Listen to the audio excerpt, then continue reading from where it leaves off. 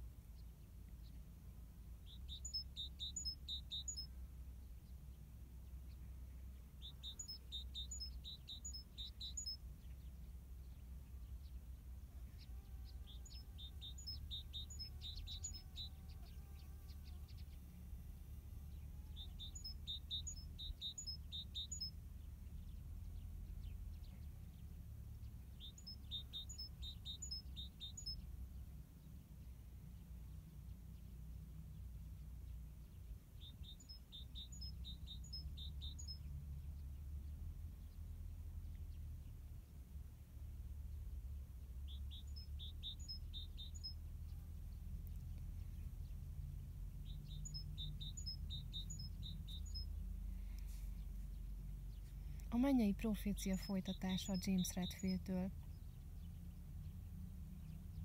Első fejezet. Összenéztünk Sárlennal. Mindkettőnket megdöbbentett, hogy a veszekedés éppen abban a pillanatban robbant ki, amikor az, amikor az alattunk levő emberekről beszéltünk. Sárlám végül az asztal felé intett a fejével, ahol az egyedül maradó férfi ült. Éppen, hogy a való világ változik. Hogyan kérdeztem? Kisé még mindig az eset hatása alatt.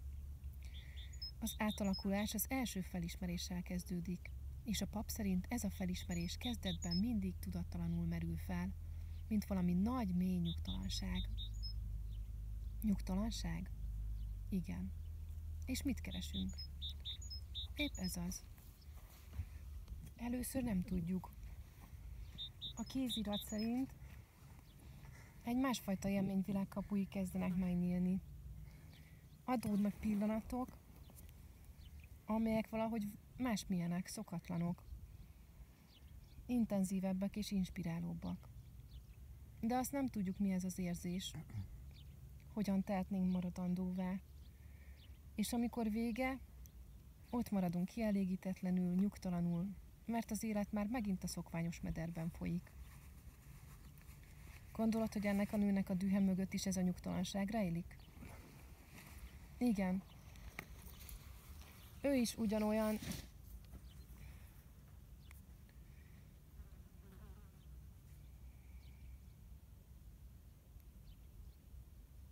Mint mindenki más.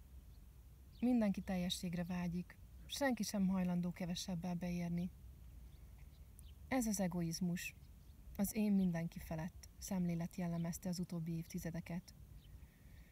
Mindenkire hatott a Wall Street-től kezdve az utcai bandákig. Sárlan egyenesen a szemembe nézett. Ami pedig a kapcsolatainkat illeti, ott annyit követelünk, hogy szinte lehetetlenné tesszük az egészet. Megjegyzése felidézte az utóbbi két kapcsolatom emlékeit. Mindkettő rendkívül intenzitással kezdődött, és mindkettő egy éven belül kudarcba torkolott. Sárlán türelmesen megvárt, amíg gondolataim visszatérnek hozzá.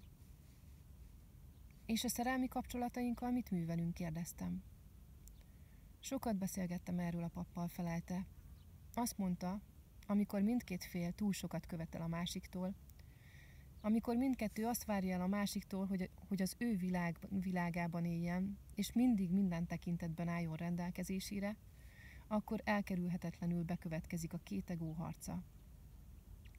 Szíven ütött, amit mondott.